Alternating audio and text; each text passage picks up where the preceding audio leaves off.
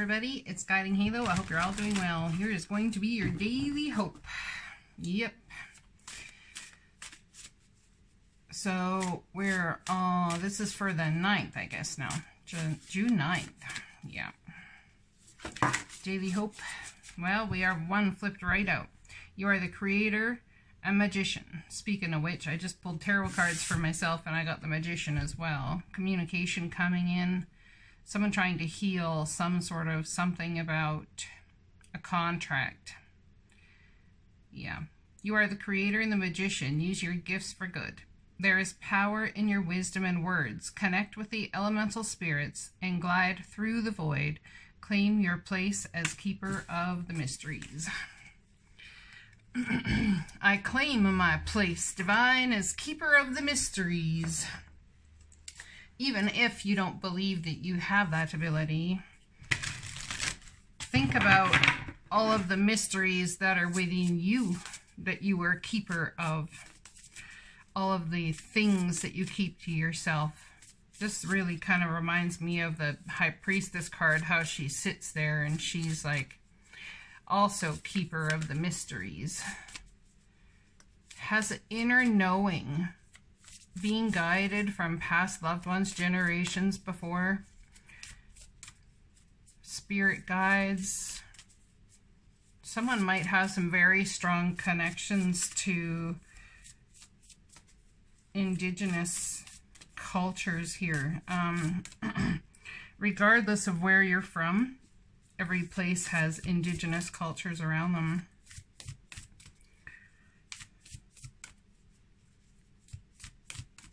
Here in Alberta, we have a lot of, of rich history, even around where I live, about the indigenous cultures that all came before us and are still here. And I myself have been thinking about um, heading out to maybe some powwows or something. I think it'd be fun.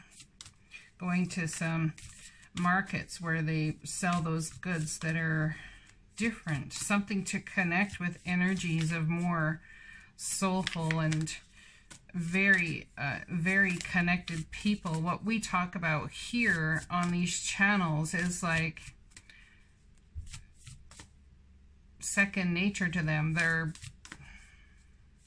they grow up this way, you know, being very, well, I can't say all of them do, but being very awoken to spiritual energy and all of that sort of thing. When I'm grateful for what I have, I can feel good along the way to what I desire. So in it being in appreciation for what it is that you have in this world makes the journey from point A to point B so much more beautiful. And I believe it creates the portal energetic opening gateway towards bringing what you desire to you a lot quicker. Okay, and yeah, with a lot more speed. And grace, I might add, because when you're in an attitude of appreciation, which is different than being grateful. But when we're in that attitude of appreciation, we can really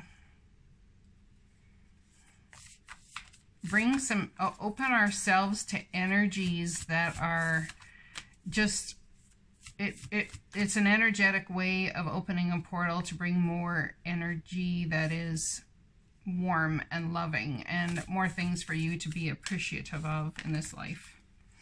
I am a spirit having a human existence. I am here to get closer to love. Look at that. Are we going to allow ourselves to learn through love, or are we going to block our heart chakras off and say, no more, man? No more love for me. It's too painful. Too painful. I think we go through that at certain times, and then at other times we release it and still go through, you know, yeah. So it's like cyclical. So there's something here too could be about the moon and how the moon is cyclical to your life and you're really starting to realize that with the moon cycles and things that are going on you you feel some sort of consistency in your life based on the moon cycles. On a quest, be bold. Mighty forces will aid you. Take action. Good luck favors the brave. So what are we trying to be brave about? What action are we trying to take? What quest are we on? What are you questing towards? The beautiful thing is you are not alone. Look at this here, her riding this beautiful big dragon. Dragons have been a theme as of late in these readings. Someone on the channel there left a comment saying they dreamt of a white dragon. Look at that. And the next card I get out is Pilgrimage. You are on a journey to your own greatness. Your soul is longing to find the way. Only you can choose your path. Well, that's interesting. Why is that so interesting? Well, the reason I find it incredibly interesting is mostly because our, our souls, I believe, know the way. They know the way. Your inner being knows the way. They know this map that is set out in point form for us all to experience uh, on our soul journey. They know our, our star map. They know it. And our soul knows it. Our inner being knows it. The divine within us knows it. They know that at a certain point in time there is fate on each, you know, spot on the map. They know that we can choose to make those points on the map our destiny or choose to move on due to free will. How the map is unfolding now is very important.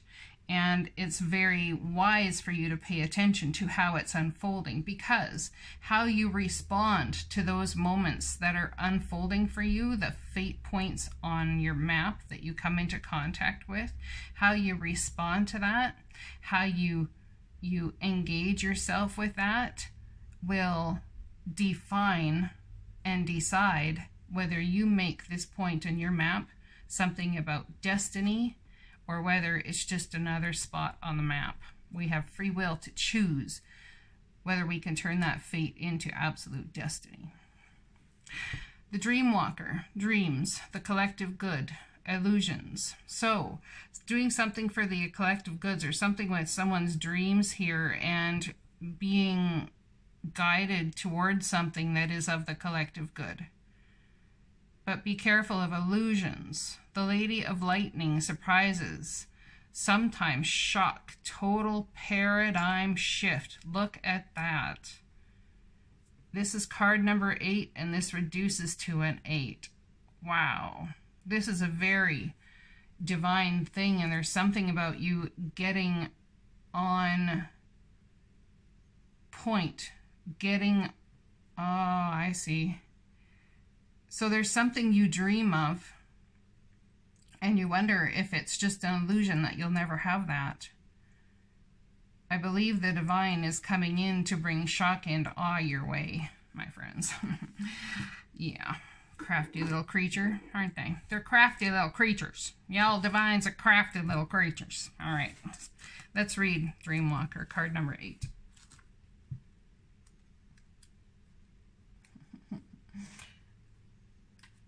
That's funny. I was just sitting there hearing them chuckle or talk about crafty little creatures, and then I had this whole thing fly through my brain about um, crafts of indigenous people.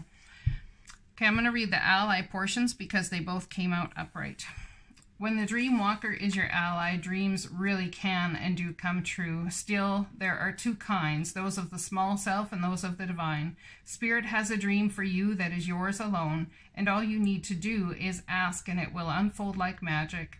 You also play an important and unique part in the divine dreaming of the world. When you ask, is this a dream for me that serves the greater dream? The most beautiful vision for your life serves the highest good for others too.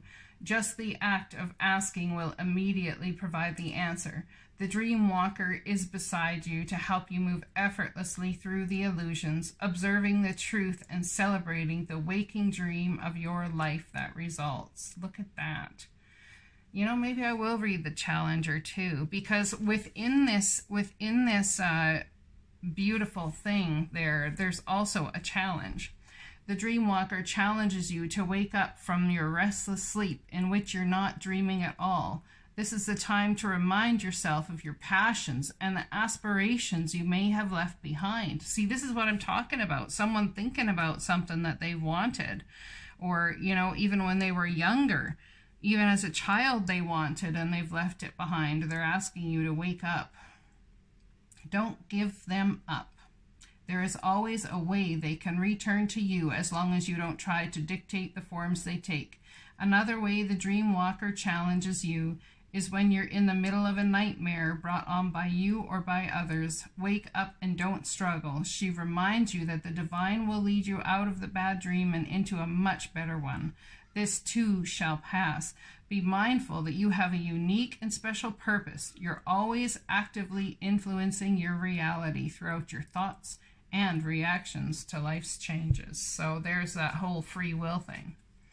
So we have a choice as to how we act and react to things. There's something that could be coming that will bring shock and awe.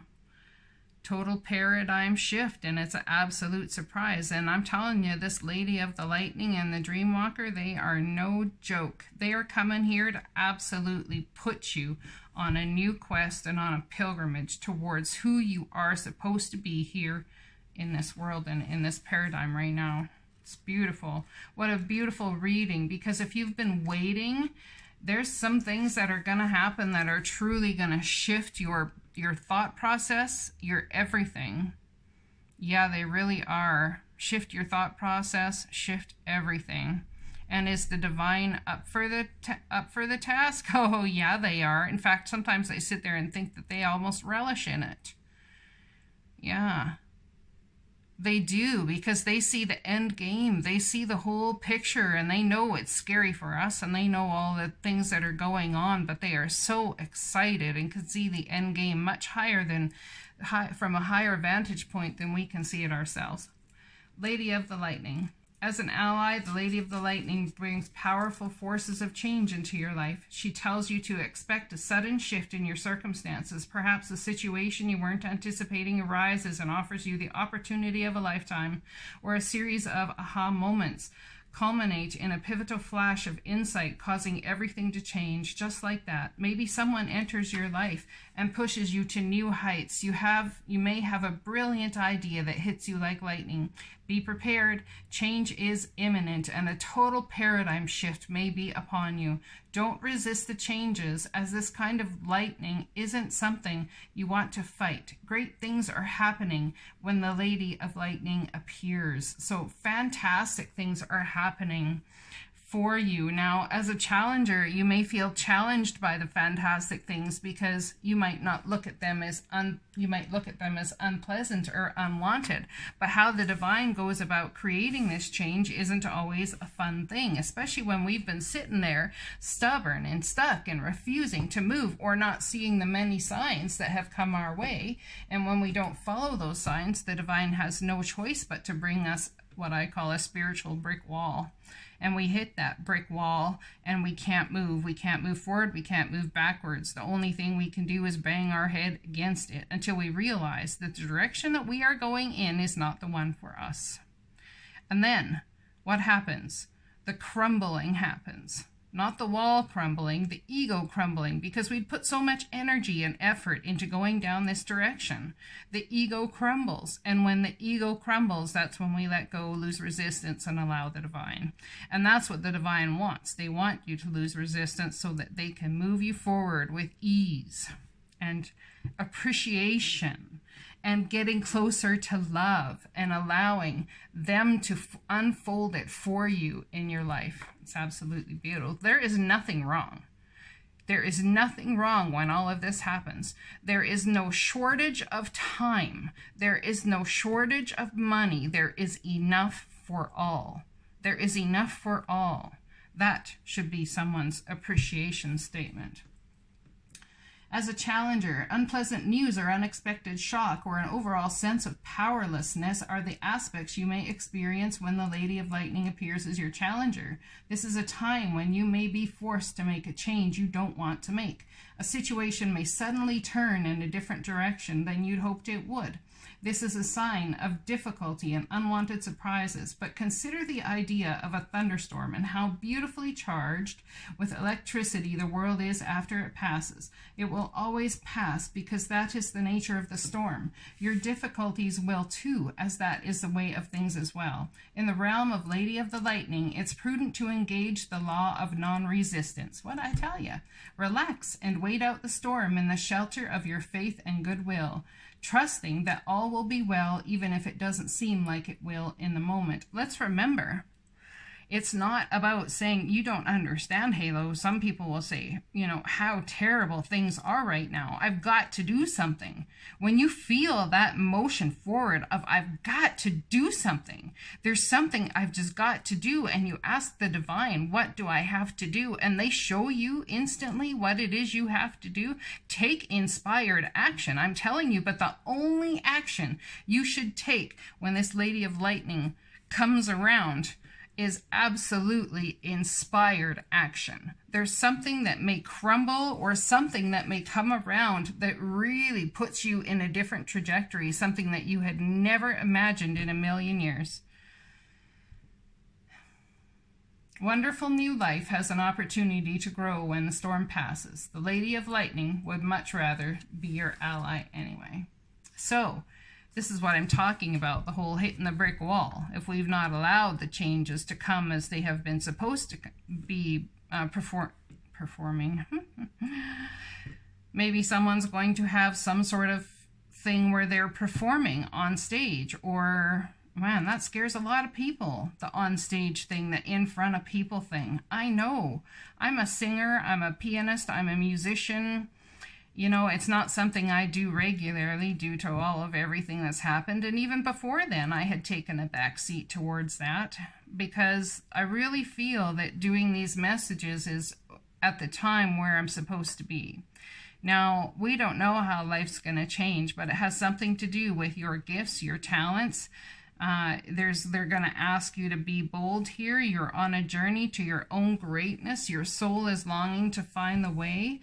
I mean, I think your soul already knows the way. I think we ourselves in our mind and in our heart are looking to find the way.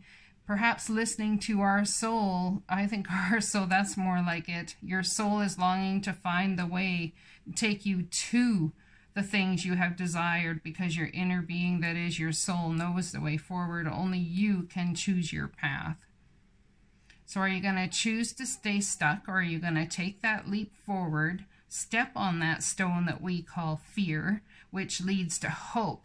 Therefore, in that hope, then we have courage moving forward. But I'm here to tell you sometimes there is not that stone of hope, and you blatantly and courageously have got to step on that stone called fear and step past it step off of it straight into that stone of courage. That is when you start to feel hope and realize that the actions in this life that you take towards your dreams, your desires, and everything that you want to manifest, when you take that inspired action and you say, enough, and you have the moment of inspired action, you propel yourself into absolute new dimension.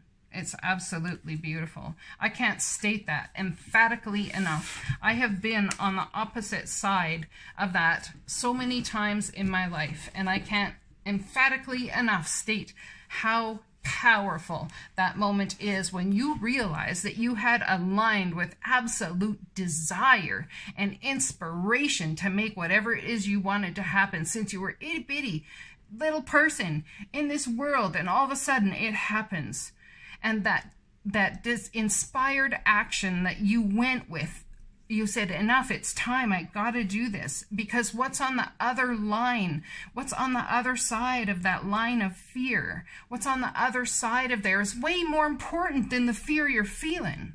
It's way more important having that in your life, that beauty that is that, is so much more important than the fear you're feeling. When you get to that place, you cannot help but have inspired action. Perhaps that's somebody's brick wall that's coming forward. That brick wall of inspired action, it's going to sit there and make you go, what? what? You're telling me now? And you're going to be afraid and you're going to be nervous, but you will take inspired action at the exact time you're supposed to.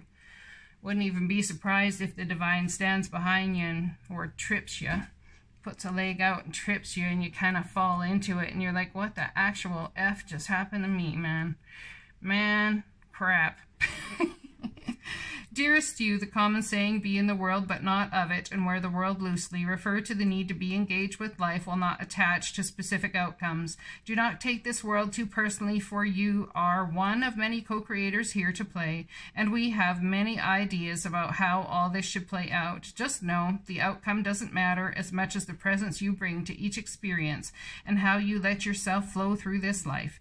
There's a real freedom in knowing and accepting this. So will you wear the world loosely or will it straitjacket you? It is your choice. Whatever happens, have the courage to keep trying to live as you're meant to. And when it comes to manifesting, don't worry about the how or even the why. We have that covered. Everything is going to turn out exactly as it should. Spirit has a plan. Loving you always and forever. Are you taking yourself and your problems too seriously? Maybe fear of the future is weighing on you. We would like you to take a little break from all that and start having fun. When you stop fixating on what has been making you heavy hearted, we get a chance to move some magic in your direction. We just need you to let go a little. Spirit needs some room and gets very inspired by your laughter when you have fun. When was the last time you got really loose, silly, and goofy? Maybe you need to go dancing or watch some very funny comedy to make you laugh. Or call the one friend you know will remind you how ridiculous and delightfully giddy you can be. You will return refreshed and renewed and ready to once again see the world as less daunting. And you will be ready to receive in perfect timing the bounty that Spirit has for you. Don't you just love how much we care about you? For all those who say, I can't go out and have fun right now because of COVID. I can't this, I can't that, I can't XYZ. I was went for a drive last night because I couldn't sleep and actually not last night, it was the night before, yeah. And I went and picked up a drink and um, through the drive through at McDonald's actually. And as I turned out of the uh, the drive through, I saw this car, little white car, and I swear to God, the windows were about to burst out of that car. The bass on that car was crazy. And I saw two teenage girls get out in the middle of the parking lot. No one else was there. And they had the music loud and they just started dancing. And dang, were they good. They had some serious moves. I'm just saying. I was like, hot damn, you know. And then in the middle of the night, it kind of got me bebopping to the beat. And I have to admit, you know, I kind of slowed down the train and drove a little slower through the parking lot and enjoyed the rhythm you know, and I'm sitting there bebopping in my seat, and I'm like, yeah, this is awesome. And I sat there and thought, you see, we have our minds and our hearts in such a cage at this time, a lot of people do, due to fear of the virus or the fear of whichever is going on. Okay, they have so much cage around them, but in the middle of the night, around, you know, whatever. They're off in the middle of the parking lot dancing like a bunch of cray cray people and having an absolute blast. You do not need to be in a box where dancing is, you know, strictly at a club or dancing is with a bunch of people on a dance floor or whichever. Sometimes it's in your room turning the tunes up and dancing to your own beat. Sometimes it's in dancing to the own rhythm your own rhythm in a whole day. I want to do this right now. Have you ever spent a whole day and taken the thoughts that come to your mind and just taking those thoughts as inspired action and then watching what happens as a result. It's so beautiful and oh my gosh, is it freeing because you start to see the beauty that is in every moment of every day. It's absolutely beautiful. Go on an adventure. What you got to lose? The spiritual brick wall you've been butting the head against? Yeah. Go on an adventure. The divine loves you. They want you to have fun. You're on a quest to experience more fun and on a pilgrimage back to who it is you're meant to be. I love you guys. I'll talk to you again soon. Blessings.